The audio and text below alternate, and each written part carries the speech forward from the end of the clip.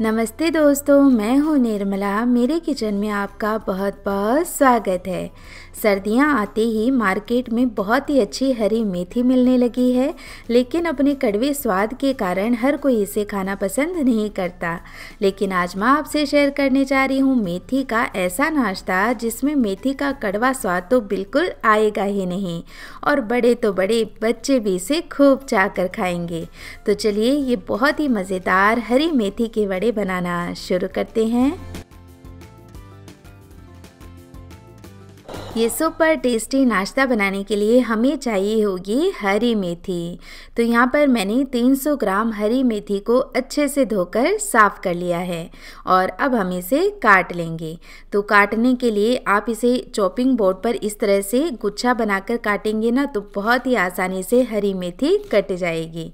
कोई भी हरी सब्ज़ी आप ले रहे हों तो काटने से पहले ही उसे धो लें। काटने के बाद उसे नहीं धोना है। एक तो इससे पौष्टिकता भी हरी सब्ज़ी की ख़त्म हो जाती है और दूसरा, काटने के बाद हरी सब्ज़ी को धोना और भी ज़्यादा मुश्किल हो जाता है। तो पत्तेदार सब्जियों को थोड़ी देर आप पानी में ही रहने दें। इससे जितनी भी उसकी मिट्टी होगी, वो नीचे तले में बैठ जाएगी। फिर ऊपर से उस सब्ज़ी को लेकर अच्छे से एक बार फिर से साफ़ पानी से धो लें। इससे बहुत ही आसानी से हरी सब्ज़ी धुल जाती है। तो चलिए, बातों ही बातों में यहाँ पर मैंने हरी मेथी को अच्छे से काट करके तैयार कर लिया है। तो अब ये हरी मेथी जाएगी एक मिक्सिंग बोल के अंदर और साथ ही मैं इस नाश्ते में प्याज का इस्तेमाल भी करने वाली हूँ। तो एक बड़ी साइज़ का मैंने प्याज ले लिया है और इसे इस तरह की पतली और लंबी स्लाइसेस में कट कर लेंगे। प्याज डालना टोटली ऑप्शनल है, लेकिन यदि आप प्याज खाते हैं तो फिर ज़रूर से इस्तेमाल करें। इससे इस नाश्ते का टेस्ट बहुत ही बढ़िया आता है। चाहें तो आप प्याज की मात्रा बढ़ाकर भी ले सकते हैं। अब प्याज को पतला और लंबा काटने के बाद इसकी जो कलियाँ हैं, उन्हें ऐसे खोल लेंगे ताकि ये सारी एकदम खिली खिली हो जाए तो नाश्ते में इवनली मिक्स भी हो जाए। तो अब ये प्याज जाएगा मिक्सिंग बोल के अंदर मेथी के साथ और अब हम ले लेंगे पोहा, जिसे चिवड़ा भी कहते हैं। तो आधा कप मैं पोहा ले रही हूँ। पोहे की जगह चाहें तो आप एक उबला हुआ आलू भी ले सकते हैं।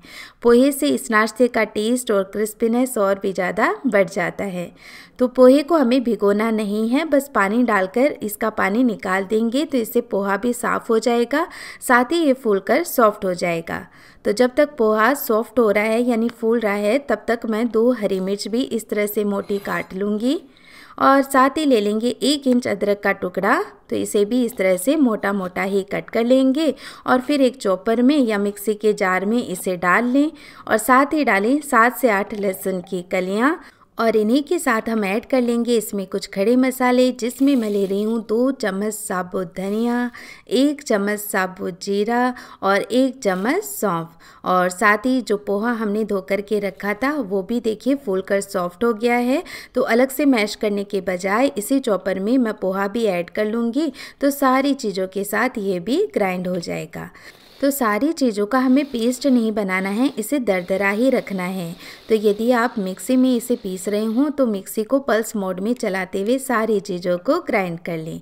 तो अब ये चीज़ें जाएँगी मिक्सिंग बोल के अंदर और साथ ही हम इसमें डालेंगे दो चम्मच सफ़ेद तिल। ये आप ज़रूर से डालें, इसे नाश्ते का टेस्ट बहुत ही बढ़िया आएगा। अब पाउडर मसालों में ले लेंगे एक चम्मच लाल मिर्च का पाउडर आधी छोटी चम्मच लेंगे हल्दी पाउडर और अब स्वाद के अनुसार नमक भी ऐड कर लेंगे और साथ ही डालेंगे इसमें हरा धनिया। तो एक मुट्ठी हरा धनिया मैं इस तरह से बारीक काट करके ले रही हूँ। आप चाहें तो हरे धनिए की मात्रा बढ़ा करके ले सकते हैं। तो यहाँ पर ये कटावा हरा धनिया भी हम इसी में ऐड कर लेंगे।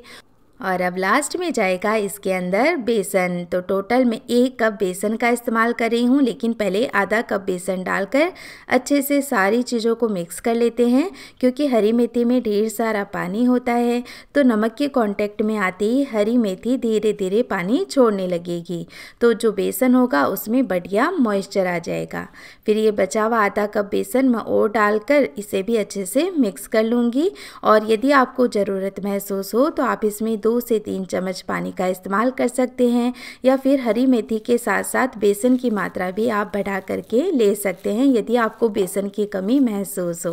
लेकिन यहाँ पर इस नाश्ते में मैंने हरी मेथी का इस्तेमाल ज़्यादा किया है और बेसन का इस्तेमाल कम से कम करने की कोशिश की है।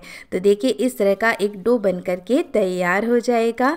फिर हम हाथों को तेल से ग्रीस करके इस तरह से इनकी छोटी छोटी कटलेट बना लेंगे। तो पहले सारे पोर्शन को आप गोल कर लें और फिर ऐसे प्रेस करें। तो बहुत ही आसानी से इसकी गोल गोल कटलेट बन करके तैयार हो जाएगी।